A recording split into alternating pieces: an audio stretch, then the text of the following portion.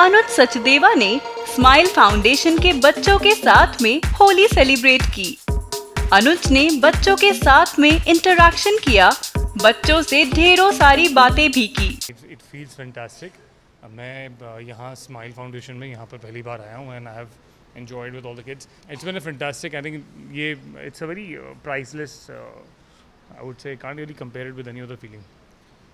Dance किया, गाना गाया और बच्चों को होली के कुछ कलर भी गिफ्ट किए। बच्चों को बताया, पानी के साथ ज़्यादा होली ना खेलें और गुलाल से खेलें तो ज़्यादा अच्छा होगा। अनुज ने बताया कि मैं दीपिका पादुकोण को कलर लगाना चाहता हूँ।